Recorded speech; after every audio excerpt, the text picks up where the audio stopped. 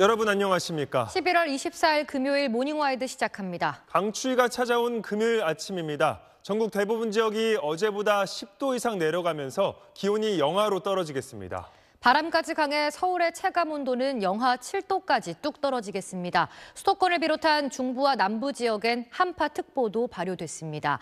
자세한 날씨 소식 이문진 캐스터가 전해드립니다. 네, 찬바람이 강하게 밀려오며 오늘 먼지 걱정은 없겠는데요. 다만 다시 매서운 겨울 추위가 찾아왔습니다. 현재 서울의 기온 영하 1.8도, 찬바람의 체감 온도는 영하 6.6도까지 뚝 떨어져 있고요. 어제 아침보다 기온이 10도 안팎 크게 떨어지면서 현재 수도권과 강원 내륙과 산지, 경북 동해안을 중심으로는 한파특보까지 발효 중입니다. 이번 추위 주말에도 이어지겠습니다. 특히 내일 서울의 아침 기온이 영하 6도까지 뚝 떨어지겠으니까 있으니까요.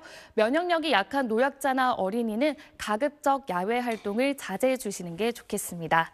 해안가로는 강풍주의보가 또 강원 영동을 중심으로는 건조특보까지 계속해서 이어지고 있습니다. 화재 예방과 시설물 관리 철저히 해주셔야겠습니다.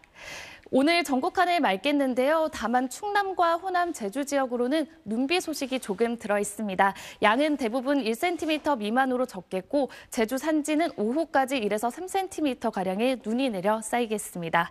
동해안을 중심으로는 너울이 강하게 밀려들어 해안가 안전사고도 주의하셔야겠습니다.